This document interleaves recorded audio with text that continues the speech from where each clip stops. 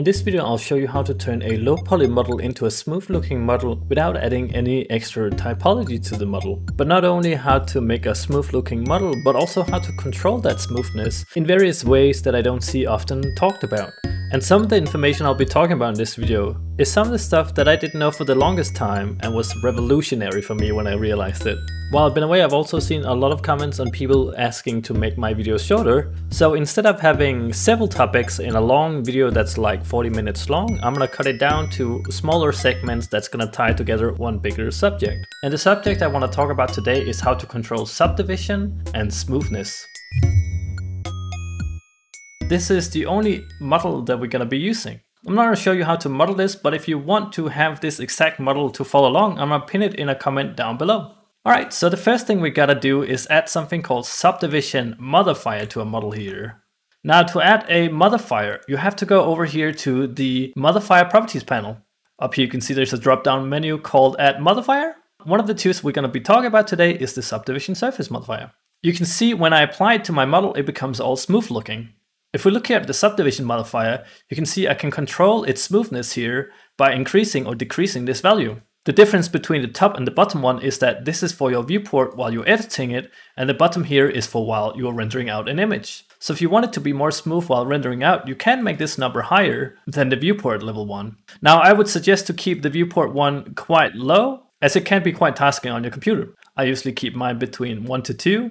If it's for a video game, I try to keep it on 1, and if it's just for a nice image, I keep it on 2.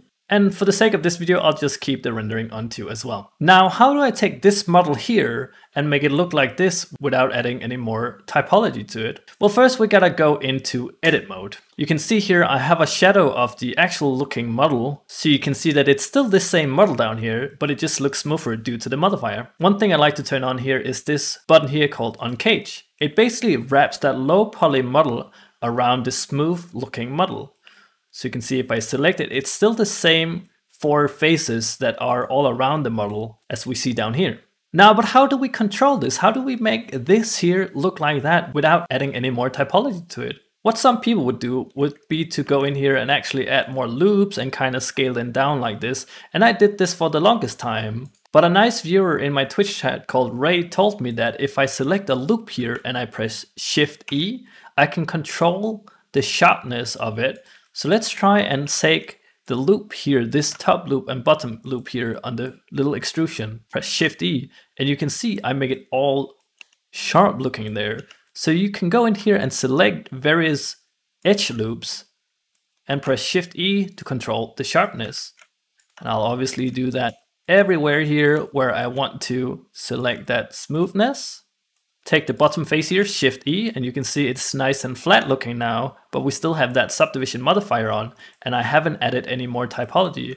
And like I mentioned, what I would do in the past and what I see a lot of people do is just going in here and add another loop like this, and we can get away with this by just pressing Shift E, so we're not adding any more faces, and we always want to try and keep our model as low as possible without adding any unnecessarily typology to it. So let's go around and do this on all the edges here. I'm going to take the top and I'm gonna take the bottom in here, Shift E, and you can see this is now all nice and smooth looking. I can see I still have some edges here, and those are not necessary now to keep that smoothness. So select all those, press X, and I will dissolve these edges. And you can see with this how low poly the model actually is now, and we're still getting this same look here. I'll show some more examples with this in a bit more complex setting later on. Alright, so then next thing we want to do is make it all smooth looking, because we don't want to see all the polygons here. And the simplest way to do that is basically by either right clicking if you have the right click context menu, or W if you select with right click, and set the shading to smooth. Now, it does look kind of weird right now, and it does not look like this here at all, but there's a way we can get that result quite easily. And here I'm going to talk about the second modifier that I want to show you today. So let's go over here to the modifier drop-down menu and select the one called Edge Split. And you can see I get the look automatically here right away. But I'm actually going to turn off this edge angle, which automatically checks for sharp edges and generates that sharpness look. And in the sake of this video, I want to show how to do this manually because you'll need to do that once we dip into a more complex model. So let's once again hop into edit mode. I'm gonna select the top edge here, Control E, and down here you have something called mark sharp. Now if I select this and I go out of edit mode, you can now see that edge is marked as sharp, which means it doesn't have this weird grading blending that it's trying to do. But you wanna be careful that you don't do it to an edge that you want to actually look smooth. You can see if I do it on that corner there, it kind of looks a bit weird and wrong. So obviously I want to go into edit mode and select that and clear sharpness. So let me select all the edges that I want to make sharp looking. And then Control E, mark sharp. And now you can see I have a nice smooth looking model, but the model in reality is this exam model down here. So if I go into edit mode again and I turn off this cage, you can see that it's just this really low poly model that I'm controlling with the subdivision and edge splitter to get this nice look. This is extremely handy because it leaves a lot less typology for you to work around with without having to deal with a extremely high poly model. So you can do this by just having a extremely low poly model. Now let me show you a character I made a long time ago. This is not the best model, but I just want to give you an example of how this works. You can see here if I go into edit mode, it's a quite low poly model. It's alright, it's not the best, but it gets the jobs done. You can see if I turn off the cage here, you can see that it's quite a chunky square boy, but the subdivision modifier makes it a lot smoother and nice looking. And this is really nice because I don't have to worry about as much typology to edit this low poly model. Now he's a real chunky boy. And you can see here, if I go in and select his feet here for an example, press Shift E and drag my mouse, you can see I can control the smoothness of it. Because I want his feet to be quite, you know, flat, this is how I can get that flat look without having to add a bunch of uh, typology within it. Now, obviously, this is not the best looking model. I would probably have done something differently today, but this is just kind of to give you an example of how you can use this and control the smoothness of your model. Let's take his arm here for an example. Press Shift E, you can see how I can control the sharpness here.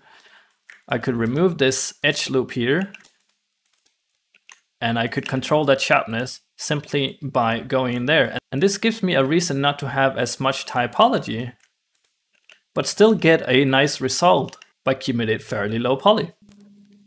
Now I just want to show a character I made a while back here as well and show some examples of how I've used this. You can see here on the back of this bat, she has these kind of spiky little hairs. Those are made with sharpness. So let me try and select all these and press Shift E and then drag in to remove that sharpness. And you can see this is how they would look without that control of smoothness. And by going in here, selecting these edges, Shift E, you can then have some control of that smoothness on various part of a model.